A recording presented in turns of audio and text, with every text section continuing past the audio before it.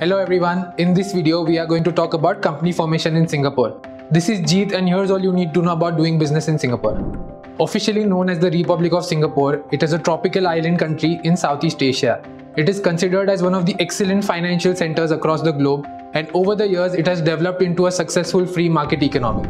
There are a number of reasons why businesses wish to have a presence in Singapore.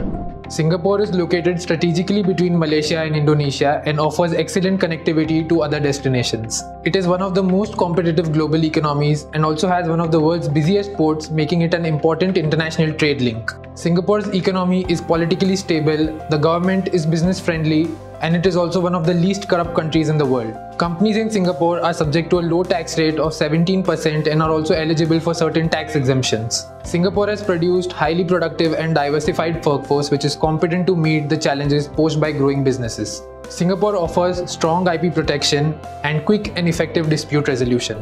The most common structure for foreign owned companies is a private limited company that is a PTE limited now we'll move on to the requirements to form a private limited company in Singapore.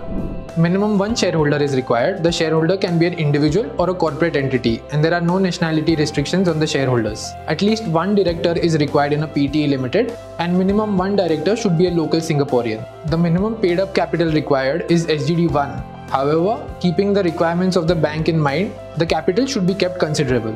A local registered office address is mandatory and appointment of local company secretary is also required. Moving further, the following details and documents are required in the company formation process.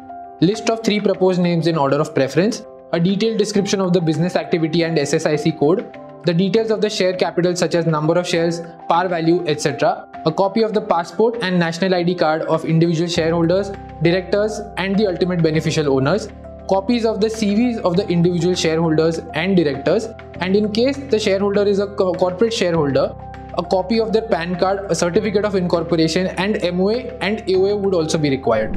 It usually takes a week to incorporate a company in Singapore. We assist our clients in preparing all relevant documentation, company formation, provision of a local registered office address, provision of a local company secretary, corporate bank account opening, and other maintenance and compliance services such as accounting, payroll processing and compliances, preparation of financial statements, filing of annual reports, and tax returns.